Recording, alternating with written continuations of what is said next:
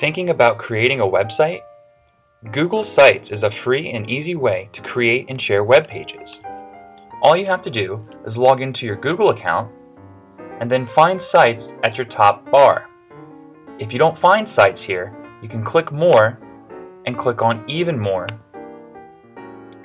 And from here, you can scroll down to the Home and Office section, find Sites, click on it, and that will take you to Google Sites. Here is my sites page. It shows me all the sites that I have access to.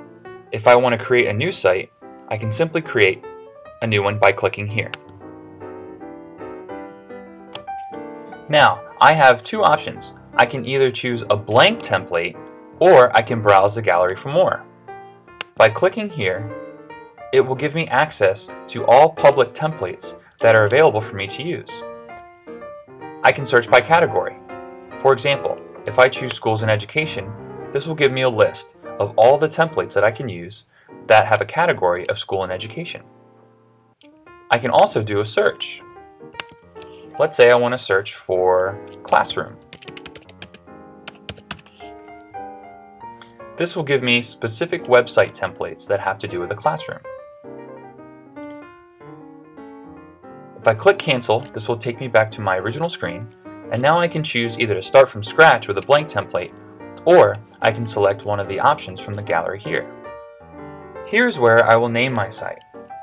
I will name my site My Google Site, just for an example. And if you notice, it automatically popped up down here as my site location. This will be the name of my URL.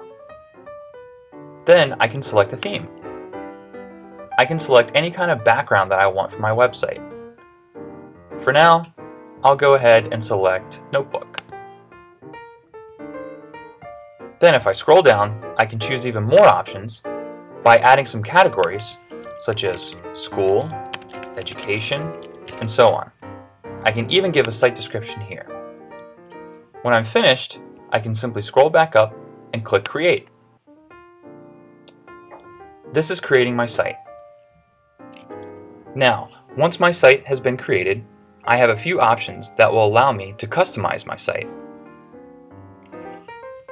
The first option I'd like to show you is the Edit Page button.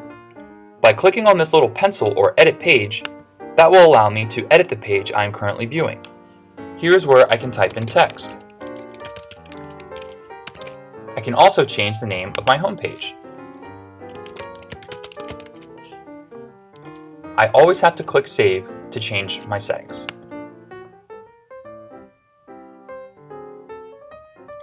Next, I would like to talk about the New page. By clicking New page, that allows me to add a new page to my website. So here I can say Directions. Maybe I want to add directions on how to create a Google site. I can also select a template. I can select a web page, an announcements page, a file cabinet where I can store files, a list, or it can be my start page. For now, I'll just go ahead and create a web page. Then I'll click Create. And now I have an extra page. I have Google Site and directions. By clicking Save, this will allow me to save my settings. But if you notice, I have a bar up here. This is very similar to Google Docs or Microsoft Word. It allows me to change my format and allows me to add different text, size, shape, color, etc. In addition, if I want to add something to my website, all I have to do is click the Insert button. This will allow me to add an image, a link, possibly a table of contents, and I can also pull from my Google Docs. I can add a Picasa photo. I can also add a slideshow, a Google presentation, a spreadsheet, or I can even add a YouTube video.